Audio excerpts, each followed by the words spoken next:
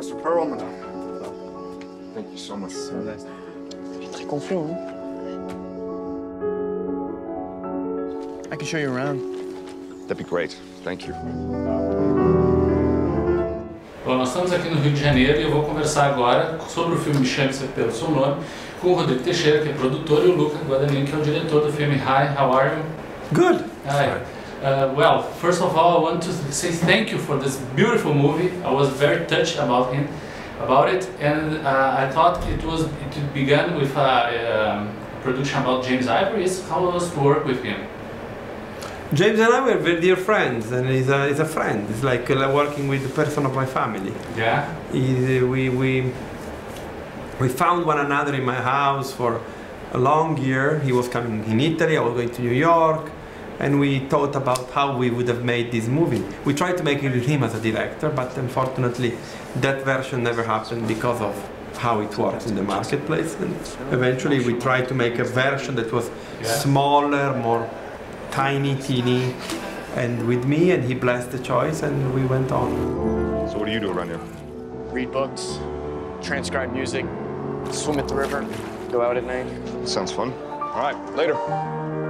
And how this partnership with Rodrigo came up?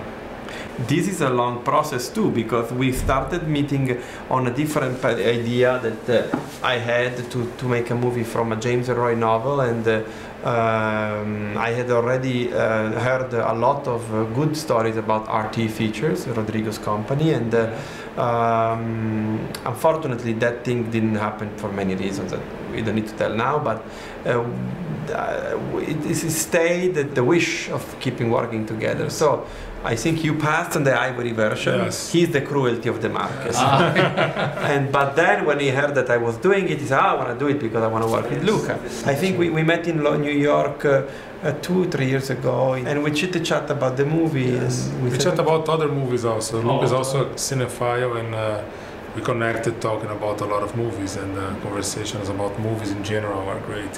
but Rodrigo, uh, you start producing films here in Brazil, and Yes. uh, slowly you became to uh, get involved in other productions, foreign productions. What this production kept your attention? I think I, I, I- I like to go in films. Uh, I have a, I have a, an expression, an American expression. I'm uh, I'm director driven, and uh, if I like a director and I uh, appreciate the work, and uh, I like to be in touch and make the films with this director. I'm much more director driven than actors driven. And uh, if the most successful films I make, and it's not big actors. When I make Frances Ha, Greta Gerwig is not a big an actress until that time. Yeah, Uh, on the Witch is non-actors now. Anya is becoming bigger. very huge. And uh, Timothée is an upcoming uh, actor. Sicuramente è meglio di quello dell'anno scorso. Just watch. This is how we'll say goodbye to us when the time comes. Later. Meanwhile, we'll have to put up with him for six long weeks.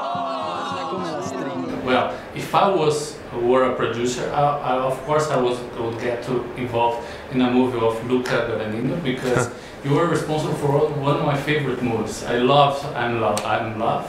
Eu sou l'amor. Eu sou l'amor. Yeah, I love that movie, and you can uh, capture the, the importance that the beauty has to you in this movie as well. It's very important the I'm not concept sure. of I'm, I'm not sure about beauty. I think beauty is an overrated concept.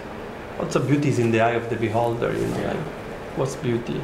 In uh, in this movie, I think it's the blissfulness of summer that envelop these two boys into an idyll. He needs to relax. Later. You should relax more. Let's talk about these two boys, Armie Hammer and Timothée. How, how do you get to them and how was to work with him? Well, I, I met uh, Timmy a few years before when I was trying to make the movie as a producer, but not as a director. And he was introduced to me by his agent, and I found him striking because Timothée has something that I love. He's very ambitious, Yeah, and his ambition is not eye. to be famous. His ambition is to be great, and that is but something they that. both are great in the movie. Of course, of course, of course, of course. But it's a different attitude. And Armie instead is somebody who has, uh, I think he, he has this, he presents himself in a very buoyant and kind of golden boy way. Yeah. But I see in him turmoil, an internal turmoil that I am interested in taking off from him. Call me by your name and I'll call you by